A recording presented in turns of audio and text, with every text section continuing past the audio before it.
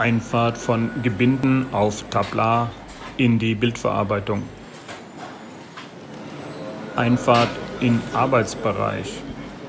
Automatische Vermessung von Länge, Breite und Höhe. Messerkopf mit Klingen zustellen. Vom Auslaufband in den Arbeitsbereich. Erkennen von Gitterkorb, nicht schneiden. Erkennen von Plastikbox, nicht schneiden.